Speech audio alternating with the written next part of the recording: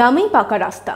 রাস্তা থাকলেও সেই রাস্তা দিয়ে চলার দায় হয়ে উঠেছে পথচারী থেকে স্থানীয় বাসিন্দাদের। বর্ষা শুরু হতে না হতে ফারাক্কার এনটিপিসি পুলিশ ফাঁড়ি থেকে, ফারাক্কার আম্বুজা গেট পর্যন্ত প্রায় দু কিলোমিটার রাস্তার বেহাল দশা। অবিলম্বে রাস্তা সংস্কার চান স্থানীয় বাসিন্দা থেকে পথচারীরা। মনোবীক্ষণ প্যাথোলজি কোয়ালিটির শেষ কথা। সিএমসি ভেলোর ছাড়াও এখন এনএবিএল স্বীকৃত জেলার একমাত্র ল্যাবরেটরি যোগাযোগ seven four triple seven double nine five one five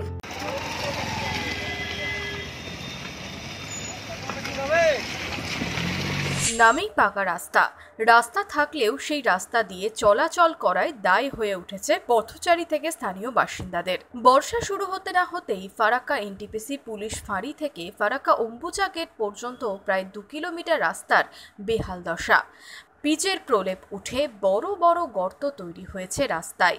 এই রাস্তা দিয়ে প্রতিদিন স্কুল কলেজে যায় পড়ুয়ারা। চৌত্রিশ নম্বর জাতীয় সড়কের সাথে যোগাযোগের অন্যতম মাধ্যম এই রাস্তা। প্রতিদিন বহু মানুষ ব্যবহার করে এই রাস্তা। তবে রাস্তার অবস্থা বেহাল হওয়ায় প্রতিদিনই ঘটে চলেছে ছোটখাটো দুর্ঘটনাও। সামান্য বৃষ্টি হলেই জল জমে থাকছে রাস্তায়। এর থেকে মুক্তি চাইছেন স্থানীয়রা। নিজের কাছ থেকে নিয়ে আম্বুজা পর্যন্ত পুরো রাস্তা খারাপ আছে। এইটুকু যে রাস্তা আছে এইটুকু রাস্তার মধ্যে মাঝে মধ্যে ঢালাই করবে আবার ওই সেই ভেঙে যায়। ওই মাঝে মধ্যে হয়তো রাস্তা ঠিক করে দিল রাস্তা ঠিক করে আবার ওই যে কাটছে। কোনো কাজ হয় না। ফারাক্কা শহরের মধ্যে গুরুত্বপূর্ণ রাস্তা হলেও রাস্তা মেরামতে হেলদোল নেই কারও। মাঝে মধ্যে রাস্তা সংস্কার হলেও বর্ষা আসতে না আসতেই একই অবস্থা। রাস্তায় চলা যায় না, রাস্তা অনেক খারাপ আছে বলে চলা যায় না। এই আমাদের এনটিপিসি ফাঁড়ি থেকে নিয়ে আম্বুজা দিল্লাঙ্গা অবধি। লিস্টরা স্কুলে যায়, ব্যারেজে যায়, কলেজে যায়।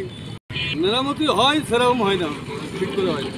এই রাস্তা ভালো, ভালোর জন্য চাইছি, যদি ভালো কেউ করে।